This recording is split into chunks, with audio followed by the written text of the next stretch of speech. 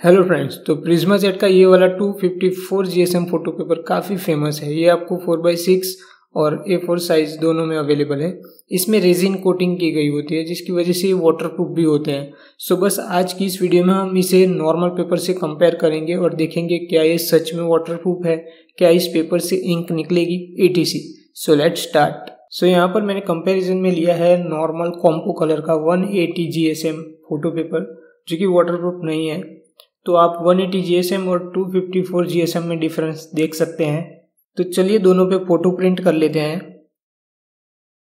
तो ये रहा कॉम्पो कलर का फ़ोटो और ये वाला है प्रिज्मा जेट का, काफ़ी शाइन कर रहा है। तो सबसे पहले हम वाटर में डिप करेंगे नॉर्मल पेपर को। सो इस वाले पेपर ने पानी को पूरी तरह से सोख लिया है। अब बारी है प्रिज्मा जेट की। सो so, इस वाले पेपर ने पानी को बिल्कुल भी एब्जॉर्ब नहीं किया है। ये वैसा का वैसा ही है। अब हम इसे रगड़ने वाले हैं। प्रिज्मा जेट में रब करने पर कुछ भी नहीं हो रहा है। नॉर्मल वाले में भी इंक नहीं निकल रहा पर इसका अपर लेयर निकल रहा है। वहीं पर प्रिज्मा जेट में थोड़ा सा नाखून से प्रेशर करने पर अब ये थोड़ा सा निकल रहा है। अब मैं इन्हें धूप में सूखने के लिए छोड़ देता हूँ। तो सूखने के बाद ये देखिए नॉर्मल पेपर सूखने के बाद किसी काम का नहीं है, काफ़ी सुकुड़ गया है और वहीं पर प्रिज्मा जेट बिल्कुल वैसा का वैसा ही है। सो चलिए दोबारा प्रिज्मा जेट को पानी में डाल के देखते हैं, इसकी इंक निकलती है या तो फिर नहीं।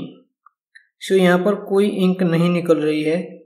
मैं बता दूँ कि ये photo H P five eighty से प्रिंट की गई है तो इस प्रिंटर की इंक भी काफ़ी सही लगी।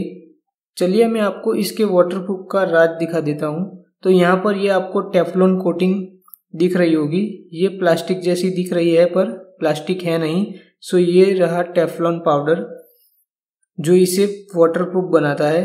अब टैप टेस्ट कर लेते हैं। नॉर्मली कागज़ टैप से चिपक जाता है, पर यहाँ पर तो टेप का ग्लू कागज़ से चिपक गया है। नॉर्मल पेपर में ये देखिए, कागज़ का पतला सा लेयर टैप से चिपक गया है। टीयरिंग में दोनों ही फेल हुए हैं। क्योंकि दोनों ही कागज़ मटेरियल से बने हुए हैं और कोई भी प्लास्टिक मटेरियल यूज़ नहीं हुआ है सो पूरा कमाल प्रिज्मा जेट में टेपलॉन कोटिंग का है। प्रोडक्ट लिंक आपको नीचे डिस्क्रिप्शन में मिल जाएगा। चलिए मिलते हैं अगली वीडियो में। बाय